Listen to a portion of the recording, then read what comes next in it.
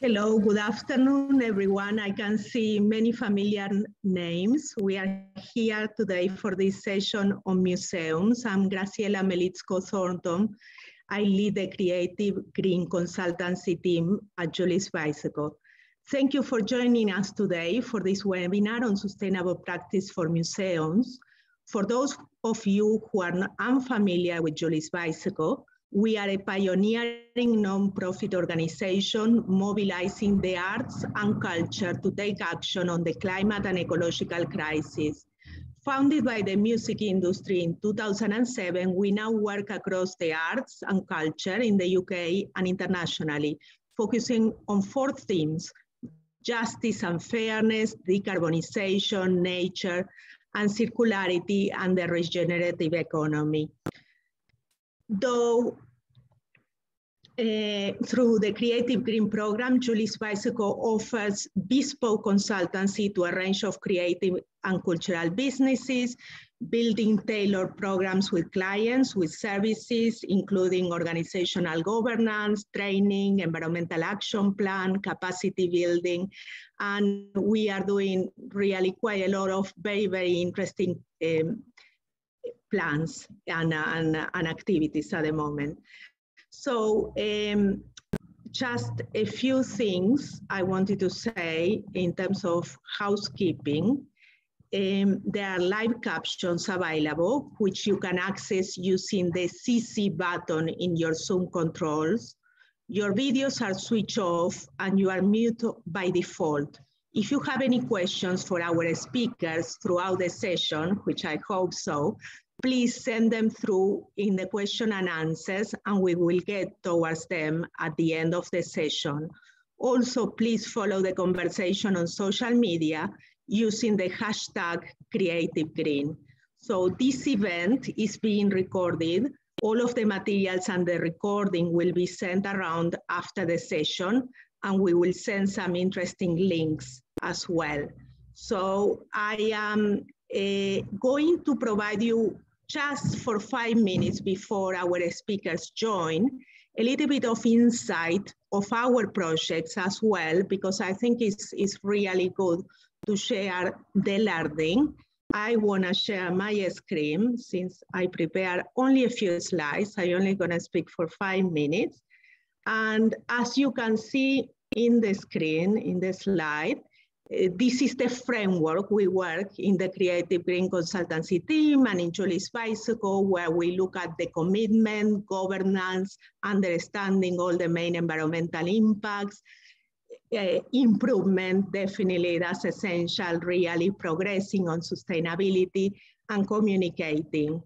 Um, I invite you also to have a look on the website. We have a museum's environmental framework, and we also put together a bit of a map of all the resources that can be useful uh, for museums and galleries as well. So look for the map and that will link you to other documents.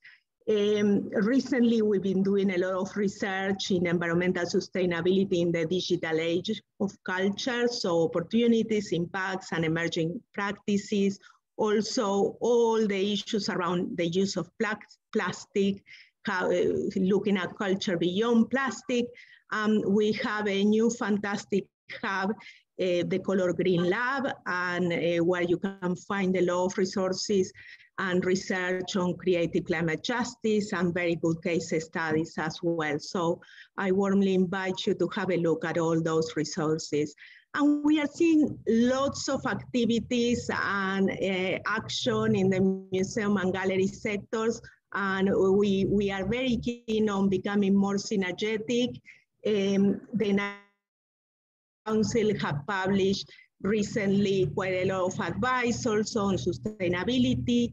Uh, we were quite involved with this exhibition, Our Time on Earth, that is now being exhibited at the Barbican. We supported the creation of a sustainability manifesto, and we look at all the planning of this exhibition, stage by stage, that gave us a lot of learning about how to come with more sustainable exhibitions. So um, that, uh, the manifesto and all the different activities that um, led into this work are also in the Barbican website.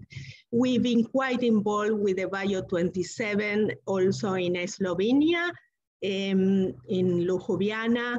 Uh, this is a fantastic project and all the learnings of planning this Biennale in a more sustainable way was compiled now in a new resource about sustainability in exhibitions. It's, it's just coming out, so I'm gonna share the link of this as well. Um, we, we really like a lot the way that uh, the Biennale in Sydney was working, looking at partnerships for innovation, looking at more sustainable materials that were exhibited also in the, in the Biennale in Sydney uh, and particularly resolving problems around materials, um, supporting innovation and supporting uh, upscaling innovation. So that's a, that's a very interesting uh, way of looking at, at problematic materials. We are working with a growing number of artists and, and sculptures on installations, looking at the life cycle of the materials used in, in, in installations. Um, I think this is also a, a quite promising area of, of work. And this one is not one of our projects, but I really want to encourage you to have a look. It, uh, the exhibition is now closed. The waste exhibition at the Design Museum. It was all very, very systematized, the carbon footprint of, of the exhibition. You can see it in the Dezeen article, a summary uh, using renewable energy, reuse please, cross-laminated timber frames instead of all this traditional aluminum that is many times used in museums, recycled plastic signage, wall made of fire bricks that then can be reused again. That's very interesting. Borrow materials for exhibition that then they go back to the manufacturer. So that's, that's really a fantastic idea. We work without in the Slovenia Biennale, all those log uh, fire, fire logs that you could see there were, are gonna be returned uh, to, to the, to the um, sellers of, of uh, fire logs. And, and fundamentally, it's, a, it's also about challenging the usual ways of, of doing thing, things. No? So how, how can we do better? What can do we differently? Um, I'm gonna stop share here and introduce you to our great panelists that we have here today. Um, so I'm gonna introduce you to Zoe Luisos in, in the first place. Uh, Alison is a, sorry, no, Alison, Zoe. Zoe has been working in the exhibitions departments of the Victoria and Albert Museum for over 12 years, over which time she has overseen the delivery of the V&A temporary and touring exhibitions including Tudors, Stuarts, and the Russian Tsars, um, Horst, photographer of style, Mary Quant, and most recently, Epic Iran. Zoe has also been a sustainability champion, and during her time as the V&A Sustainability Coordinator, she developed and implemented a range of green initiatives across the museum and particularly in relation to creative recycling and community outreach projects. So let's hand over to Zoe now and um, I stop sharing. Hi everyone, can you see my sharing slides there? They're showing. Great. Well, hi, everyone. nice to be here today. Um, thanks for the introduction, Graciela. As she says, I've been at the V&A in the exhibitions department for about 12 years now. Um, but something that um, I was also involved in a couple of years ago was a temporary uh, secondment to sustainability coordinator, which was a new role that the museum created at the time so that we could begin to implement um, more uh, uh, integrated approaches to sustainability across the organization. So I'm just going to take you through some of the things that we that we managed to do um, at that time and where we are now. Um, in 2019, we were making good progress as a museum in terms of sustainability with regulating our energy systems and moving towards you know better heating and LED lighting. But um, in other areas, kind of softer areas such as recycling, single-use plastics, anything around staff engagement or um, our public programming and our production methods within our exhibitions had a bit of less awareness around them. And this was coinciding with the museum producing a series of exhibitions that were exploring environmental themes. So we had fashion from nature, we had our food exhibition, our cars exhibition. So it was becoming increasingly evident of how important it was to enshrine our values further in the production and operation and outreach, and not just in the subject matter of our programming. And so when I had this opportunity, it was two days a week for about five months. These are the areas that I was looking to make some progress in. And one of the key areas uh, that remains in producing exhibitions is the waste that is created in the process of building and touring them. And it's something that, of course, is inherent to the creative practice across the arts and culture sector, and something that the wider community is always grappling with and looking for ways to improve. Um, I'd always been quite obsessed with things that we throw away, uh, with an awareness that these items still had a lot of value to the creative communities that I'm part of and that I'm aware of. Um, we could really benefit from these. And it was something uh, I thought was a little bit wrong that we were throwing things away without much of a, um, a thought to a potential second life. So the first thing that we tried to do is to be a bit more strategic about um, redirecting our surplus materials, specifically those to, there we go, um, uh, yeah, specifically to those communities that might normally have access to them. So this is schools, community groups, and young artists. And I'll just take you very quickly through just a couple of samples of the things that we donated at the time. There were a lot more, but um, obviously we're short of time. So from our Fashion from Nature exhibition, we had a number of terrariums, which we donated to local schools. Um, we had some tables that were made of recycled hemp in the exhibition that we got to um, the UK's and the Organic Hemp Farm Cooperative. Um, we also took a lot of textile scraps uh, that our conservation team were struggling to recycle, and we donated those to a women's asylum seekers group in Hackney.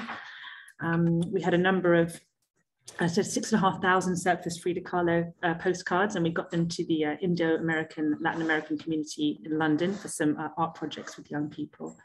Um, this is one of my favorite from the food exhibition. We had these large light up signs for the areas of the exhibition on eating and composting. Um, and they went to some friends of mine actually that run a compost club and a permaculture farm in Brighton. And they obviously never thought they'd see the words compost up in lights. So this was really exciting for them to take. And they now use these for their HQ and their workshops that they run in Sussex. Um, and a big thing for me, um, I started my career in community heritage. So something that I was quite invested in was trying to get these materials to smaller, more regional museums um, that you know often don't have access to these types of materials at all um, because of the nature of, of, the budgets of working in smaller places.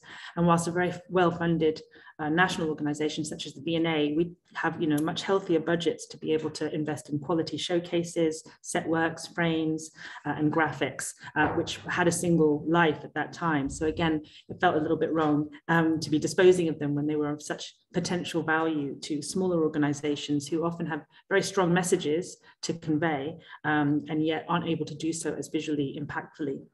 So this is a museum of ordinary people. Um, there's some contacts of mine who started this kind of emergent museum about um, uh, presenting or, ordinary people's memories and lives. And we donated this modular walling system that you see that we were disposing of and a range of perspex books, cradles and plinths, which enabled them to really scale up. This is their first pop-up display. Um, and they subsequently won the Brighton Fringe Visual Art Award, something that I know they were um, very grateful for and um, felt that the kind of uh, facilitation of, of, additional display materials really helped for them to look um, present their their content a little bit more professionally and gave a due sense of value to the objects that were on display. And then another key um, uh, contact that we have is the Museum of Homelessness, um, again, an emergent activist museum, um, which are calling for radical societal change. When we had our Revolution show, which was looking at the period of revolution in the late 60s and early 70s in visual culture, we had a lot of incredible things made for that. You can see here sort of apocalyptic oil drums and television sets, again, all of which wouldn't have a, had a second life at the time, um, but were taken from by the Museum of Homelessness, and they now use these in their live interpretation events, uh, which really brings a lot more visual professionalism to their incredible projects.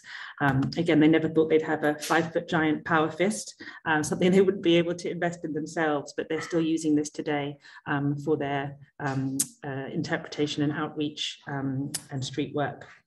Um, and it's really given them a lot of confidence that they can have a bit more visual impact with their um, with their projects.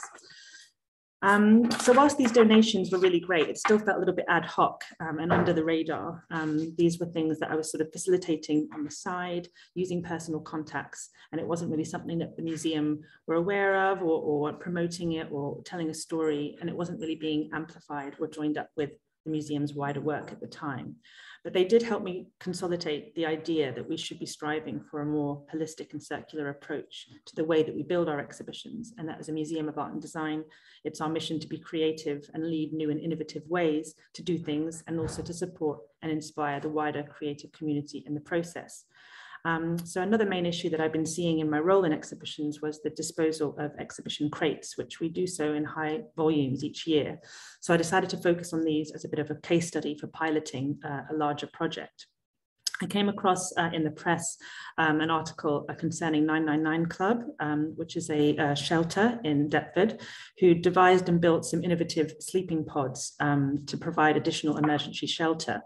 Um, I called them up and spoke to the director to see if maybe we could donate our wood to that cause and ended up having a conversation with the director about much greater need for the provision of furniture for their clients when they move into their first homes and out of the shelter.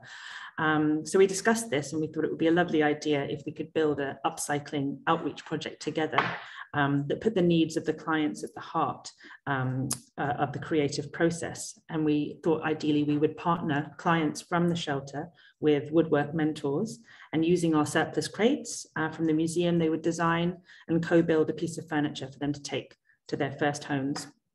And we were very excited about this project, but again, at that point, we had no money, we had no workshop, we had no tools, we had no clients signed up, we had no mentors. It was really very much a pie in the sky idea, but something that really captured both of our hearts, and we wanted to try and make it work. So I took this idea to our festivals team, who luckily were very behind it, and they saw an opportunity to link it with the 2019 London Design Festival that year, uh, which was on design solutions to the climate crisis. They also presented it to the director, who again was luckily very in support of it, but wanted it to scale up and become a bigger and more impactful event. Um, because at that time we were hosting the Food Waste Summit, we were doing some quite high profile events around hosting conversations around sustainability. So this was an opportunity um, that needed to be amplified. Um, yeah, so it was a great idea to um, opportunity to sort of link this sort of fledgling furniture project to the wider initiatives of the museum. Um, so we had it approved and we had eight weeks to work very quickly. Um, the 999 Club being in Lewisham, um, they contacted Lewisham College, explained the situation and very gratefully they uh, offered up their workshop for us to use. I rang around uh, furiously to tool suppliers and paint suppliers and luckily again everyone was very much behind the project. Oops, sorry, I don't know what's happened there.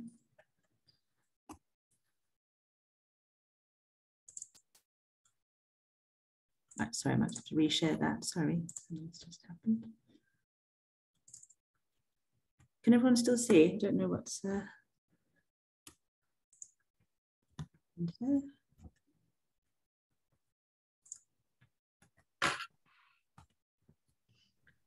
Can everyone see that? Kind of lost. We could we could still see it. And not now. Now it's you. Is it yeah, back now? That's yes, that's good. Thank you. Thank you. That's good. Um, uh, yes, we managed to get um, tools donated, paint donated, um, fabrics donated from various suppliers across London who were really thrilled to support this project. We recruited nine woodworking mentors and nine clients from the shelter, and we partnered them up to co-design and build pieces of furniture to suit their individual needs as they moved into their own spaces, exploring how to design functional, multi-purpose and portable pieces out of reclaimed materials from the museum, which obviously have their own uh, design restrictions. And here you can see some of our me mentors and clients working together on the pieces, uh, with the designs being fully led by the client and as far as possible, enabling them to build it themselves. Um, there was a request from the charity initially to make small modular uh, pieces because they wanted it to be convenient, but actually what was wanted was a, a throne, a bed, a writing desk. Um, so it was a really beautiful process to deliver exactly what the clients wanted. And then on the day, we exhibited all the pieces here in the tunnel, um, leading from South Kensington Station to the museum. And there are a couple of quotes here from the mentors and the participants for whom this was a really beneficial experience. It led many of them to move into a much better space with their mental health, uh, have more drive and interest to continue to keep making. And for the young designers involved, as you can see, everyone found it a really valuable experience and wanted to put their skills to a socially beneficial cause. We do have a little film about this. There isn't time to show today, but if anyone's interested, I can pass this to Graciela to send on.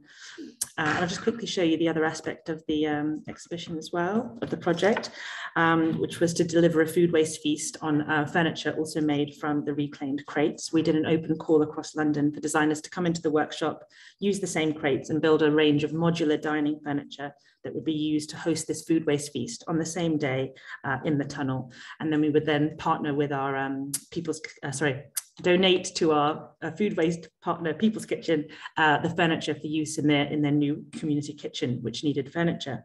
And we had an overwhelming response from uh, the community to be part of this project. Uh, designers and makers and students came in and built a range of tables and benches that you can see here for the event that were encouraged to be modular, transportable um, and multifunctional to aid their use in a community design setting.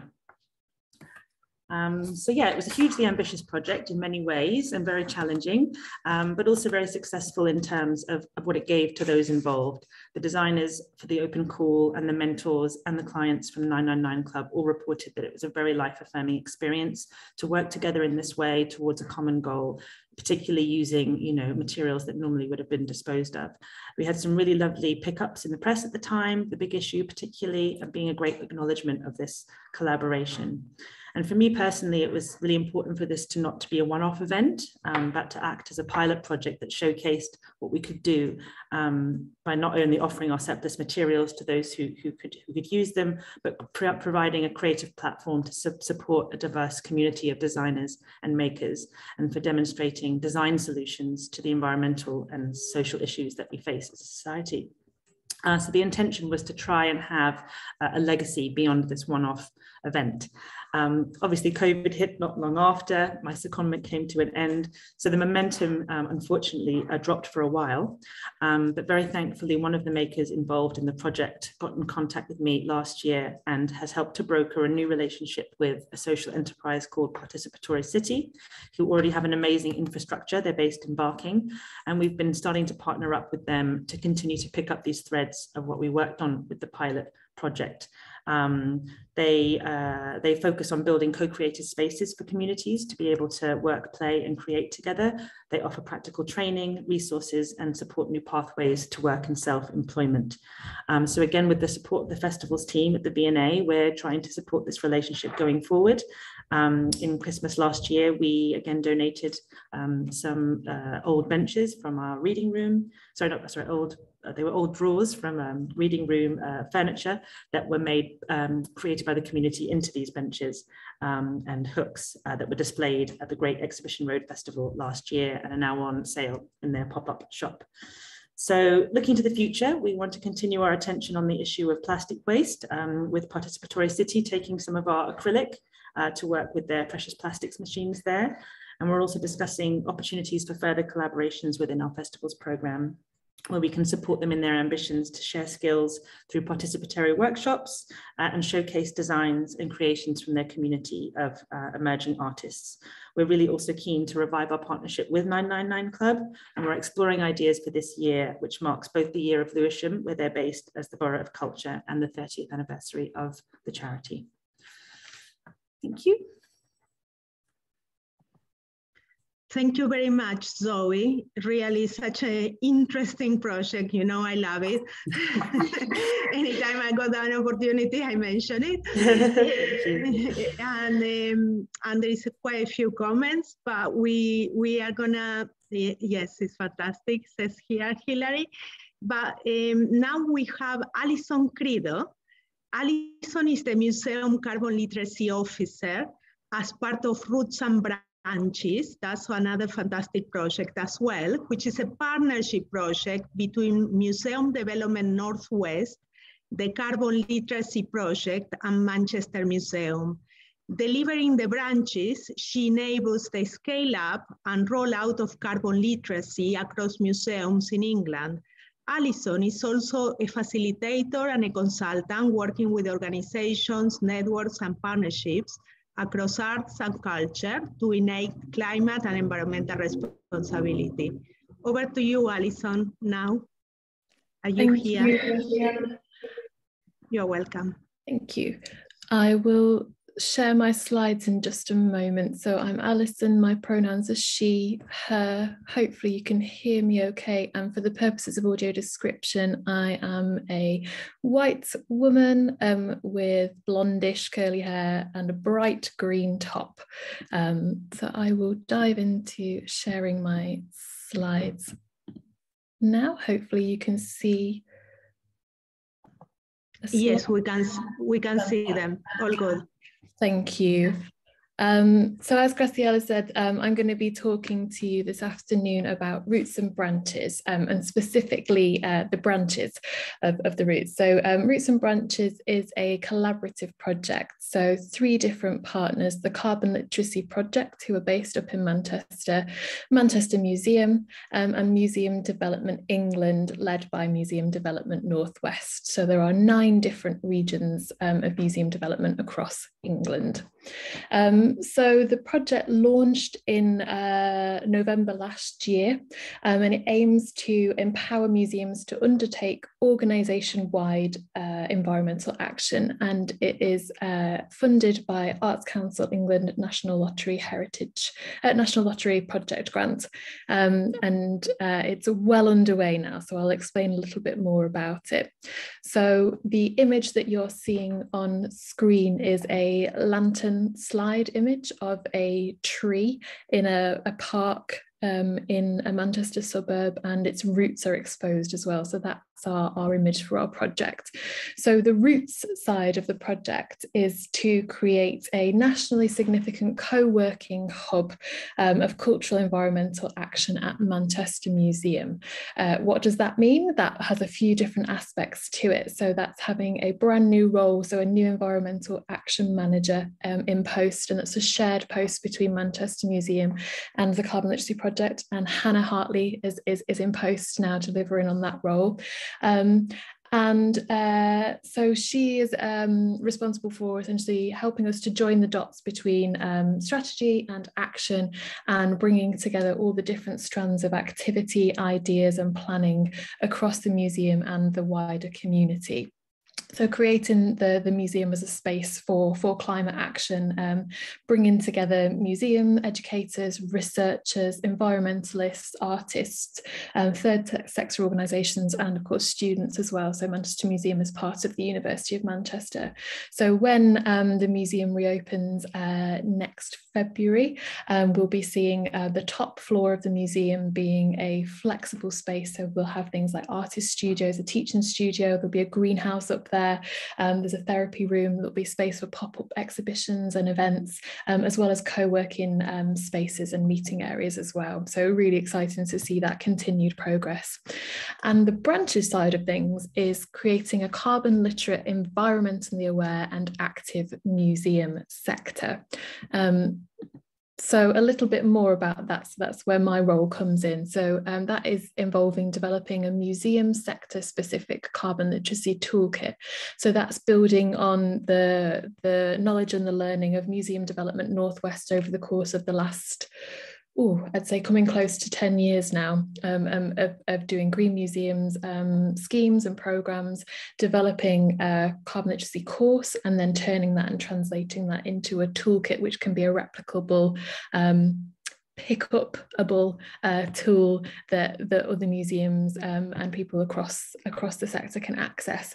So the idea of that is to help to build capacity, skills and knowledge and essentially share a lot of those skills and knowledge as well across the sector to help to take those steps to reduce carbon and also to drive climate action and responsibility. That's taking place across the, the nine regional museum development teams. So I've just come straight from a course that was running in the Southeast um, online. Um, so taking place all across them over the course of the, the next uh, remaining eight, nine months of the project. Um, we'll be delivering courses um, in our regions and across our regions as well, collaborating together. Um, my role within that as carbon literacy officer is to be sort of the the the glue that holds everything together and helps to keep furthering it forward um, and also being able to support um, people to become trainers to access the toolkit and to pick it up and have the confidence and the skills to be able to deliver it um, in their own organizations and in their wider networks. And as part of the project as well we want to continue to understand and build learning across the sector and across our museums um, so that's capturing insight into what we're seeing that our museums are needing additional support on or what what do they need to take the next steps to, to take that action? And we're in the process of having some deep dive discovery into identifying some of those themes and maybe what some of those resources or support could look like moving forwards. So the toolkit itself um, was designed to be a catalyst for organisations who are already places of education and engagement to deliver these vital societal messages in addressing climate change. And that starts within the spaces of our museums and our institutions. So, carbon literacy um, is uh, an awareness of the skills and knowledge to take action and communicate the need for climate action um, across our communities and our workplaces and our on our organizations. So it entails a day's worth of learning um, where you essentially um, gain some uh, climate awareness some knowledge um, basic climate science but really for us with the toolkit for museums it's about having that dialogue and that opportunity to communicate with one another to build skills and to build ideas together to, to take that action forwards. Um, so this is because we know that we're facing the climate crisis. It's driven by those greenhouse gas emissions and that museums themselves have a significant footprint, but we also have a really significant platform in which we can um, encourage and drive and, and, engage in that need for action. So this, this resource is, you know, the design is for that anybody within the, the sector should be able to pick it up. So um, it is um, inclusive. It is, we encourage it to be open to all members of museum teams, um, from volunteers right through to every different strand um, and, and, strain of, of, of, the work of a museum and its wider networks as well, from governance and trustees and, and beyond.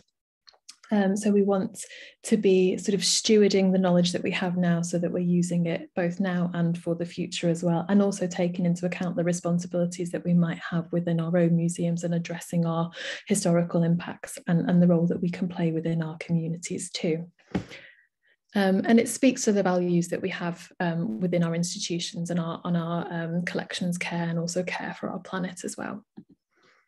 Oh, so I'll just say that the toolkit itself launched um, in January last year. We piloted it during uh, COP26 um, in November last year uh, online, um, and we launched it in, in uh, January this year. So it's almost been running for six months now.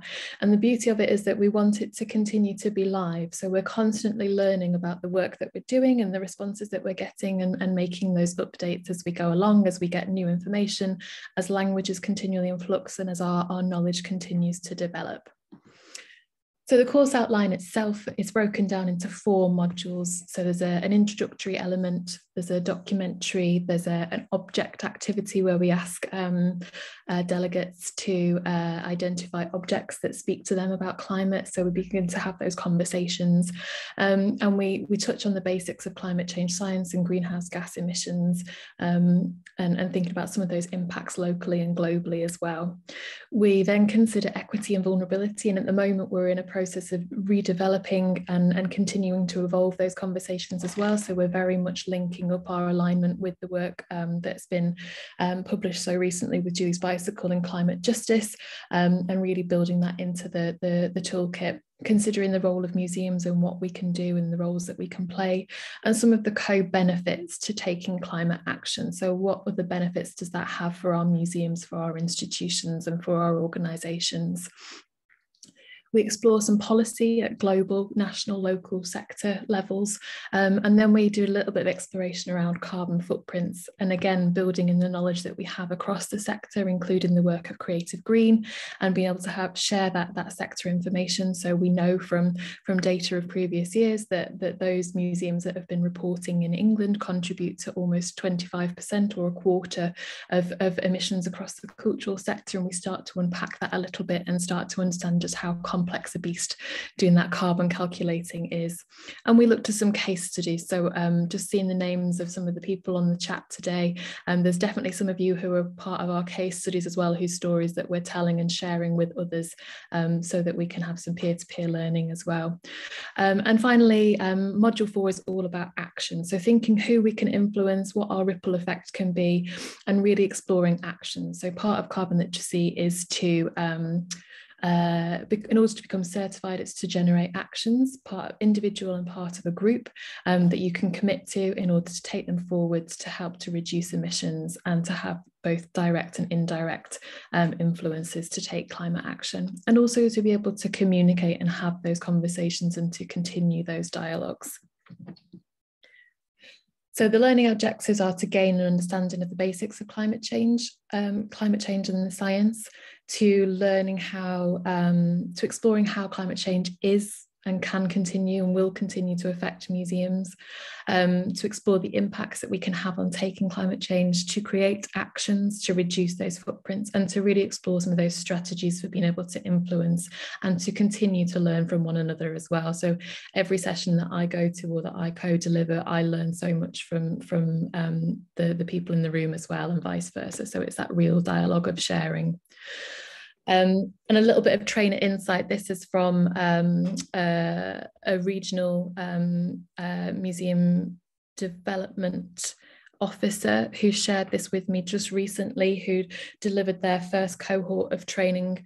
Um, and this was the feedback that they gave us. So they had done the training themselves they'd they'd been supported to be able to pick up and access the toolkit and roll it out in their region and they say that the ripple effect from the training is going to be massive so delegates are planning to host monthly lunches across the museum start a green team network for all working at a uh, all working at a group of linked museums and include green objectives and all the policies and actions for new museum charity being formed.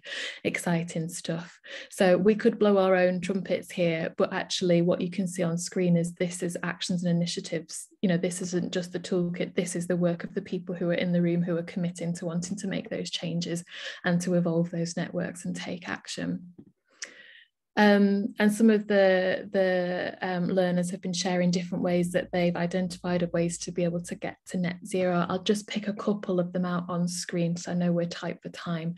So saying that we need to actively challenge our employers to set and achieve climate control related targets in our workspaces and work alongside them. And that's crucially to be able to achieve it together. So it's that collective responsibility as well as individual action. And that museums have a place, a role to play here as spaces where these discussions can happen. So our role in the space that we occupy as institutes of public education, but also the power that we have as well, and the trust that's held within us um, and within our sector too. So making those changes and somebody wanted to talk to policymakers, visitors um, and board members, we can do this. And I had a, a, delegate last week who's already contacted me, said that they're going to put uh, two of their trustees through a, a, a session as well, um, who are going to be completing the training. So thinking about where they can take um, their knowledge and how they can share it outwards. And again, if we're thinking about governance and influence, um, uh, how we can use our knowledge and our advocacy. So, opening up these conversations. It really also speaks to the work that's happening across um, museums in addressing equity and also our, our, our histories as well um, and our collections and where we want to be moving forwards and what, you know, what is our current story that we're telling of our immediate um, moment and where's that going to be moving forwards. So, how we can think about drawing up a reasonable governance policy to shape the carbon impact of the museum moving forwards and setting clear goals for achieving carbon neutrality. This is a very, you know, this is this is a lot going on in this paragraph of, of, of what's being shared with us, but that's really setting the agenda for moving forwards. Um, and the beauty of, of, of these shared sessions that we're running in these mixed cohorts is, is that cross-pollination and sharing sharing um, across museums and sharing and developing new networks and, and building on the relationships that are there already. So that is me. Um, I'll um, share um, in the chat the link to find out more about the museum's toolkit as well. But at this point, I will stop sharing my screen um, and hand back to Graciela. Thank you, Alison. It's really another fantastic project that is growing. And I believe that also we want to spread the word about this project. Yeah, so I want, I want to invite everybody now to share some questions uh, through the chat, and then we can have a, a bit more of a conversation. Uh, in, the, in the meantime, um, I just wanted to get a little bit, pick your brains, both of you, Alison and Zoe, in terms of what do you think that the museum sector needs to do to, to spread all this sustainability practice and link to wider issues uh, that the sector is tackling, uh, is at the moment looking into it? Mm, it's a big question. it's a big um, question. I think these networks are doing wonderful things though, because so much um, progress has been made. And if you look at the, the, the, example of the design museum, for example, that you that you shared, that was really groundbreaking and really helpful learning. Um, and a lot of these things I found from the networks I've been involved in more before the pandemic because um, things had to kind of come back now, the communities of, of sharing, but things are happening in silos and some wonderful ideas are taking place and some things that could really set a new blueprint for other museums to use are, are there, um, but we're not always aware of, of what's going on. So I think, yeah, more opportunities to get together like this and share best practice and take those ideas back to your organization and try and implement them um, are really, really beneficial. Yeah, thank you, Zoe. It's definitely something that we've been um, every cohort that we deliver. There's, there's there's similar questions like where do we find the information? How do we learn from each other? How do we develop these these networks further? And and hopefully we can do lots of signposting to encourage people to to contact each other. But yeah, continuing with the learning I think is is a really big part of it, and and doing that joined up thinking between the different the different strands and activities that are taking place. Yeah, yeah. Yeah, good. Yeah, we in, in Julie's Bicycle, I also want to invite everybody to share their best practice and their actions, and we are always looking for case studies. So we bring all this in our research papers and also in case studies that we share through through the web. So um, so always uh, happy to share more. Um, and so you are involved with two community-focused museums as well, or you have been involved. Um, how do you bring communities and grassroots partnerships into the museum space? Do you have any uh, sort of a special approach to do, do this? And what impact do you think it, does it have on the wider social fabric of, of the area? I'm, I'm quite interested on, on bringing community um, issues into the museum, no, as a collective space, because museums are collective public spaces. Absolutely. Well, it's something I'm very invested in from, from my kind of uh, background coming from community heritage. It's interesting then working in a, in a large national organization where, um, especially in, in the exhibitions department in which I work, work, that's not necessarily the remit of that department. So what I found that I've, that's been helpful in making these projects happen is to actually seek support from other parts of the organization where that is more of a priority. So working with your learning teams, which will normally have a lot of connections already in schools and in communities. And our festivals team have been really, um, they've, they've been the reason that these projects have happened because again, they're there to be more responsive, more reflective. Uh, they're there to respond to current issues um, again, in a large organization like this, where it, it's, again, in the remit of my department, um, it's more long-term planning and less ability to just kind of come up with an idea and, and do something that's very kind of scratch or very responsive. Um, I've sought support from the departments who have the budget and resource to do that. Um, so that's really what made these projects be able to, to, to happen. And also just um, working with personal contacts and networks. So I think with the sustainability agenda at the moment, it's uh, kind of the path of least resistance. You know, if you have, if you know someone or someone knows something, and or finding just a kindred spirit in your organization, uh, if it's not yet a really um, a formal part or a formal priority of your department or your organization. It's finding people who for whom it is a priority and, and coming together and putting your energies together to make it happen. Um, because these early initiatives were kind of done on a bit of a wing and a prayer. They were based on knowing somebody or uh, someone's contact um, and a lot of good grace and goodwill on behalf of all the people who were involved. Um, and that links, in, links into one of the challenges as well, which might be another question about, you know, what what are the challenges? And sometimes it it's it, it's that that you can make something happen through a lot of goodwill, but how to make that model sustainable, um, and that's where you need more support from the the, the top the top down. Um, and yeah, it was important for us for this project to really benefit the local community. Um, we tried very hard to make that central to um, to the furniture project. Obviously, the, the partner that we that, that, that, inspired the project happened to be in Deptford or Lewisham. It wasn't the same borough, um, but we tried to invite as the speakers who were on the tables uh, local community groups um, uh, to, to be part of that because I think it's it's essential, especially in uh, Kensington, where uh, you know it's a, it's a mixed demographic in this borough, but it's not always equally represented in a space like this. Um, so yeah, it's something that I would love to be able to do more of in my role. Um, but as I said, the main thing for me is looking for allies within the organization for whom it's a priority and trying to get support from them.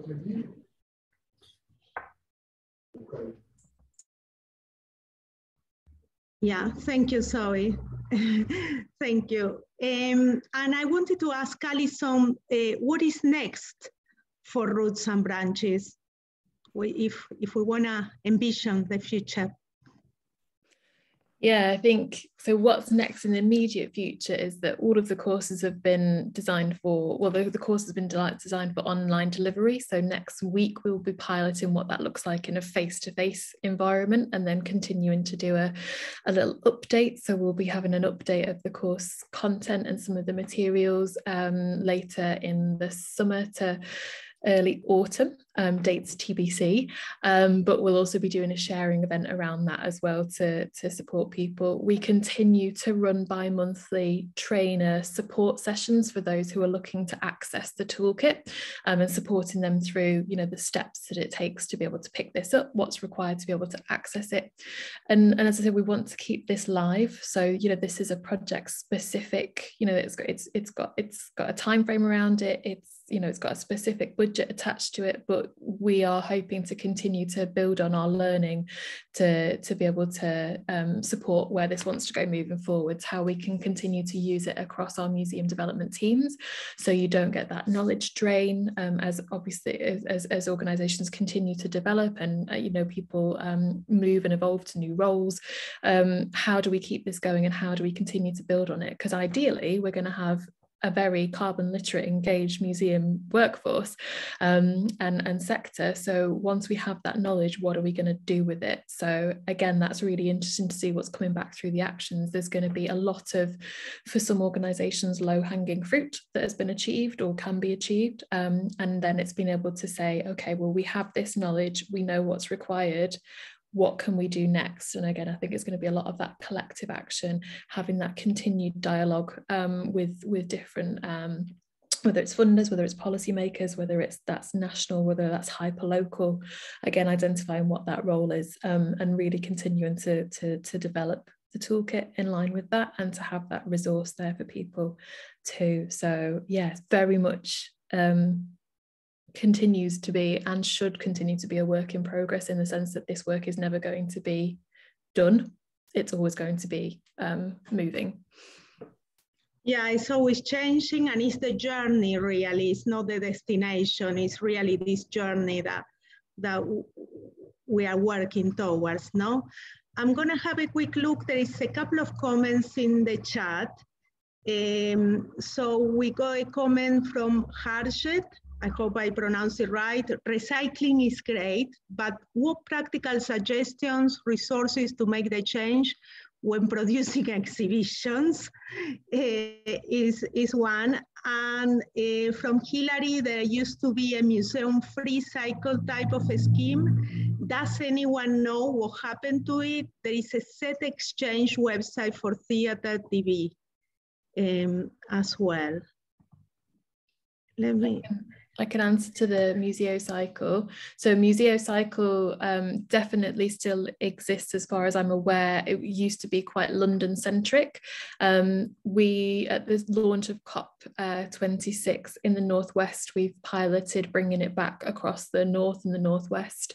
So we have a Northwest Museo Cycle at the moment that we're trying out to see what the response has been. And so far the response is high. So we had um, a museum in Cheshire come to the Manchester Museum a couple couple of weeks ago and they've identified some materials um, that they're going to have um, and, and, and share back with their their museums as well. So there has been some really interesting things that we've seen from cabinets to uh, collections and, and some great examples of how they're being repurposed within materials um, within within museums as well. So um, just responding to Hajit's as well. So yeah, resources to make the change when producing exhibitions um, is uh, all I can suggest. And uh, Zoe might say the same as well as planning from the word go. So embedding those principles from the start. Um, if it's only ever thought about at the end, it's only ever going to be an add-on rather than something that is part and parcel of the plan. And that might affect budgets it might affect resource time um, it might uh, require a bit of research or a bit of thinking about things or, or finding different materials to make it happen. Um, but again it's that that sort of circular economy approach within within the museum itself. Um, but yeah, planning and also working with if you if you're having freelancers who are contracted to do it, making sure that they're on board with what you're asking them to do and supporting them with that as well, because um, that's part of the the conversation too. Yeah, thank you, Alison. Yes, in our experience, I would encourage you to have a look at the approach we had with the Barbican for uh, the Our Time to Earth exhibition, where we look at looking at all these issues very, very early on. So this was included in the brief. It's included in the contract for the designers of the furniture, for the printers. Uh, it's looking at every single step in terms of, well, what can we do differently? Uh, and ca how can we look at our environmental impacts in, in a different way? So I think what Alison was saying is crucial, really, is timing, looking um, really from, from the start. I'll have a look if there is any other questions. Uh, so there is a comment about um, the Circular Arts Network, which seems to be in Scotland also, which there is yeah, just uh, sharing. And um, yes, it would be great to have also some infrastructure for all this. This is something that we are discussing uh, not only with museums and galleries, but also with the theaters about the importance of having some infrastructure for reusing uh, uh, furniture and materials and, and support uh, that element that, that goes beyond the individual museum really. So it's something to work in, in cities or in towns in terms of uh, providing good infrastructure in the circular economy for the cultural sector. And may not be just for the museums, it can be done at, uh, as a whole sector, no, as well. So, um, so we go a couple of minutes more before we finish. If you want to share any questions on, or any thoughts, please, please do. I, I had a last question for Alison and Zoe. Um, and I was thinking about um, talking about a bit about barriers and challenges doing this work. The spin it's been all around, but maybe there is something else that you want to say. Um, so, help, so what, what obstacles have you faced when when when you started doing this work? Um, yes, I have touched on, on some of them before. I suppose uh, uh because the v, the nature of the V&A being a sort of world-leading museum of art and design, what this kind of interesting moment we're at now is about the degree to which we're willing to scale back on the the, the production level of things and, and the, the finish and the quality and the newness of everything. Um, because for, for, each of our exhibitions, there is an expectation. We work with a different design team, a different contractor, a different curator. And so everything is expected to be completely designed, you know, afresh with new materials. Um, so that's an interesting moment that we're at. Um, depending on individuals and their commitment to kind of uh, compromising on, on maybe the finish of a material as opposed to um, how environmentally friendly it will be. So that's been something interesting. And again, coming from community heritage background where it's a very different approach, um, I'm finding that balance very interesting. But I do feel there has been a momentum, momentum shift. Um, and for the most part, everyone is really committed to making these changes. And so it's just part of the creative process now of, of looking for more environmentally friendly ways of delivering the same level of impact. Um, and I'm also finding it quite interesting kind of level of transparency now with the public, because I think the public are actually getting much more invested um, in how their cultural experiences are created and the degree to which you know they might be environmentally harmful. Um, so a challenge used to be on, um, quite difficult to kind of share where you are with a journey or a museum, again, a large organization being reluctant to, let's say, declare climate emergency or be transparent about challenges. Um, but I feel like it's shifting a little bit now in terms of a shared um, willingness to be a bit more vulnerable and a bit more transparent about the challenges, which is coming from forums such as this where that's being encouraged. And you can see that other museums are also struggling with the same things. So again everyone could be a bit more honest about it and, and experiment. Um, so i'm finding that that challenge is is, is getting easier. Um, but yeah as i said before it's really just to think about finding allies within your organization and allies within your networks where you can kind of join forces and have a bit more of a, a voice together uh, to try and kind of overcome where there might have been barriers to making changes before yeah, thank you, Zoe. Yes, I think it's uh, actually, I don't want to finish with the challenges and barriers because it's, if it's, yeah, the opposite, but I think it's about recognizing and, and working together, no, through all of them. And I don't know, Alison, if you want to add any uh, last thought, we, we are getting now towards the end. I was just thinking of what Zoe had said and some of those challenges, and and actually, there's a lot of shared knowledge and lots of things happening separately but we're definitely seeing in some of our uh, museums in in England and the UK who are local authority parts of local authorities or city councils the fact that they have strategies or they have declared climate emergency or they have that these ambitions it's being able to learn from what museums are doing and actually remembering what the potential that we have is that as a sector we are used to doing a lot very creatively often with very little um, and that we're also not afraid to share those things. And it's the flip of i think some other sectors might still be in a stage of thinking that their sustainability has to be their usp whereas for us sustainability is us keeping going continuing to be museums to continuing to share those collections and continuing to um, welcome more and more people into our spaces and have deeper conversations and there's actually a lot of power that we have in that that we can share with other people.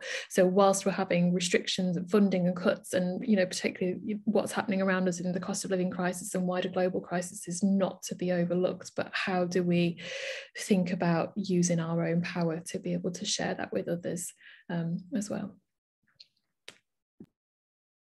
Yeah Thank you, Alison. And, and about deeper conversations, that's an area that we are developing. And I want to encourage everybody to have a look at our environmental justice um, hub because there is quite a lot of um, different areas um, to work in terms, no, in terms of social and environmental justice as well. Um, and we are getting to the end. Uh, really, I want to say thank you so much, Alison. Thank you so much, Zoe, really for all your experience, for sharing the learning. Um, we want to keep on doing this, finding the, the tools and the networks to keep on doing this, really to, sh to share. Uh, I want to say thank you to Kathy, Kathy from Julie's Bicycles as well, that she's there really answering um, some of the comments in the chat. And I should have mentioned that Toby is on the tech today. Thank you, Toby, also for supporting all this work. Thank you, Ruby. And Farah is not here, but she's been working hard also to make, to make this webinar happen. Um, so uh, the recording of this event will be available on your website, on our website shortly. We will send a follow-up email for you as well.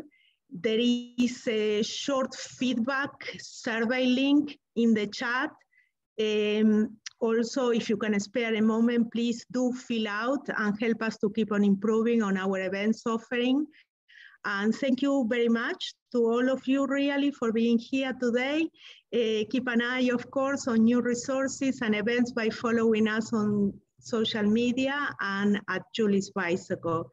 And there is now um, the survey on the web link. And so we, keep, we leave it there for a minute if you want to copy and we are going to finish in, in a couple of minutes uh, now. Um, yeah, that's it really from me and have a wonderful evening and keep in touch, all of you, really. Yeah.